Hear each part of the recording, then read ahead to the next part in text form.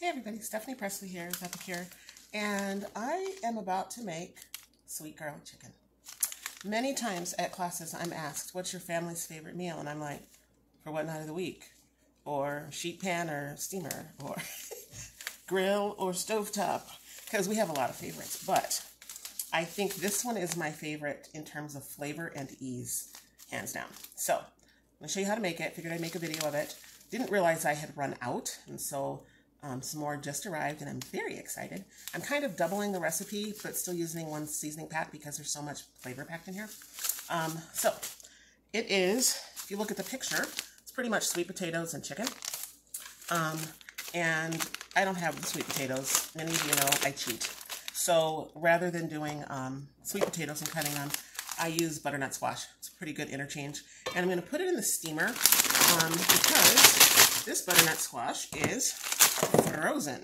And we got our meat order last week, and as I was cleaning out the freezers in preparation of that, I realized I had a whole bunch of partial bags of sweet potatoes, which tells you how backed up the freezer was.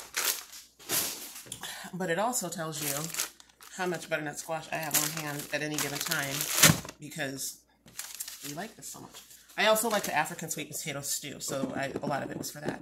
Anyway, going to put this in the um, microwave probably for about three minutes um, to get it a little thawed, and at the same time, I'm going to turn the oven on to 450.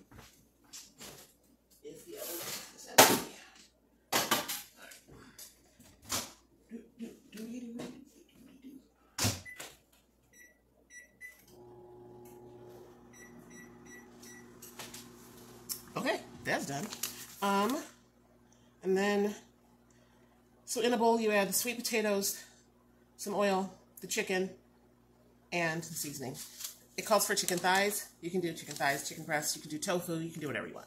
So here's my chicken. I weighed it out. Um, so I should find oil. Added the oil and do two tablespoons. So half of this quarter cup and I'm just going to drizzle it on my chicken. Um, so I doubled that. And you can do full thighs or you can do partial. Um, you can cut them, you can cut them into pieces. Often I'll cut them, you know, just into strips, kind of like this. Um, these are the Prep Pro scissors, makes it really easy. So I'll just take one chicken thigh and then usually cut it into thirds. That way um, people get smaller pieces and if some want seconds, they, you know, there's other pieces to go back to, but I just think it simplifies. So there's that. So I have, recipe calls for a pound of chicken, and I think I have a little over two pounds here. Probably more than that, but it'll be fine. So the sweet garlic chicken, what else can you use it with? Well, you can put it on vegetables. It's really good on roasted vegetables. It's really good on um, sliced cucumbers. Just you know, slice some cucumbers and sprinkle it on there. Really good seasoning. Um, I've had it on eggs. I think it's probably, um, beyond salt and pepper, one of the most versatile seasonings in our product line. Um, I've grilled with it. It's really good grilled. And I was trying to think if there's anything else I've used it with. Um, cauliflower. I don't think I've put it on broccoli. Put it on cauliflower. Um, yeah, I think that's pretty much it. Let's see. I think I got all my pieces in here. So, yeah. So I'm going to wash my hands and then get my seasoning ready.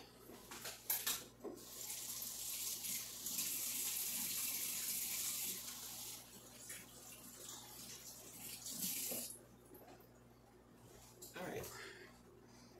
So keep two scissors in here. I have one for packets and one for food. And I keep them marked. So, I'm just going to sprinkle this on there. I did about half there. And I'm going to stir this around. Been kind of a long day. And you know, we have, from dinner that we had last night, we have a lot of rice left over. And I got in some spinach. So I'm just going to wash some spinach and serve this whole thing over rice and spinach. Easy peasy. Easy peasy. All right, let me put my scale away. and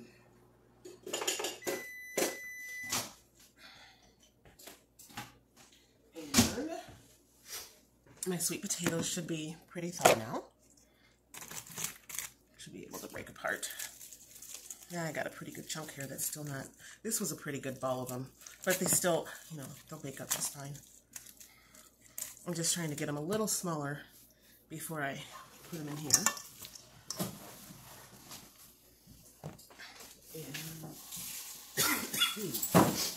I poured out that seasoning, it went up my nose. All right. All right, so I'm gonna stir this around a little more. I'm glad I grabbed this bigger bowl. I was gonna do a smaller one. So I'm glad I did the larger. Okay, still some seasoning left. Stir that. This way it gets nice and evenly coated.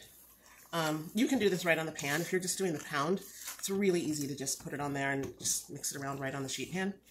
Um, but sometimes I just do it in the bowl because I feel like I have a little more control over the situation. So there's that. Um, trying to see. From a nutritional perspective, it's uh, organic cane sugar, garlic, onion, sea salt, chives, paprika, um, only six grams of sugar. But a lot of that is going to be, you know, sweet garlic chicken, so is what it is. All right, so my oven is nice and hot. So grab whatever little oil is still in there. And here's what I'm going to do. My sheet pan, my sheet pan liner, and I'm just going to evenly spread this out.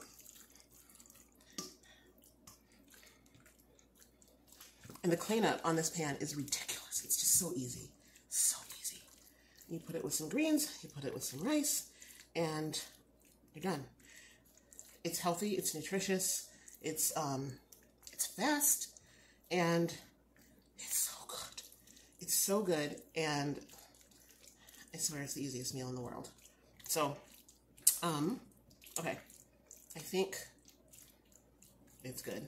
So I'm just gonna bake, I'm gonna put this in, I'll bake it, probably check on it, turn it a little, put some more, you know, turn it and then bake it a little more.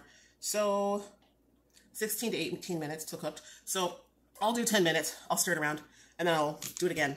Uh, another 10 minutes probably, and that's gonna be that, and then I'll show you the plate. Cool? Cool. All right. Oh, let me put it in the oven, then I'll say goodbye.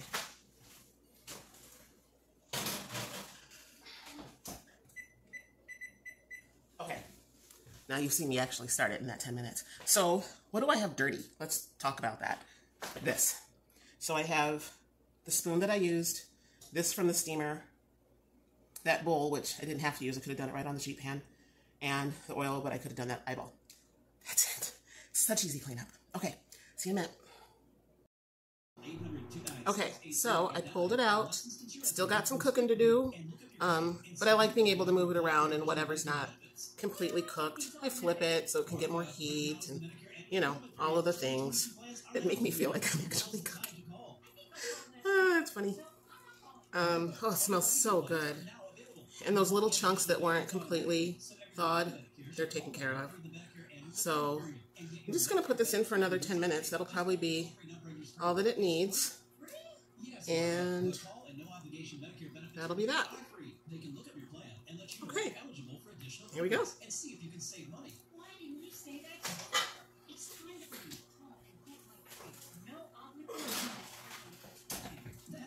Okay.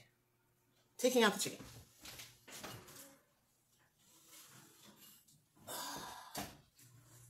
So, here is the chicken. See how juicy it is? You see the liquid all around there? So, I've done about um, two and a half pounds of chicken thighs, and I have this beautiful sweet garlic chicken. So excited. Oh my gosh, it smells so good. So wish I could create smell-o-vision for y'all. I can't though, so. If I have to be on one side or the other, I choose this side. Um, um, okay, so I want to show you how it's going to look plated up. Um, I'm using my old prep cups, but they still work. All right, so leafy greens, two cups create one serving. So, oh, you guys don't see what I have over here. I washed my spinach while it was in the while the chicken was cooking, I washed the spinach and heated my leftover rice. So I'm to set this here. And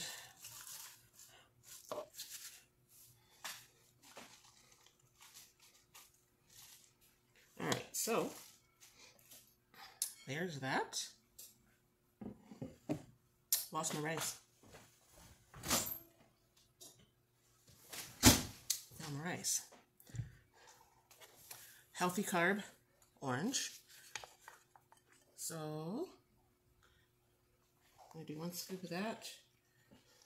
And I'm just going to sprinkle that right on there. And then, which is why I love the scoops, because you can just serve directly from them. So this is the protein. And if your veggies and proteins are mixed together, you just use this one protein cup. And make sure I get enough sweet potatoes butternut squash in this one, in this portion. So maybe one more piece of chicken there. Oops, that fell off. Okay, I'm just going to call that good. All right, see that? I'm to put that over there. And there we go. Sweet garlic chicken. All nice and plated up. Cool. Okay, have a good night.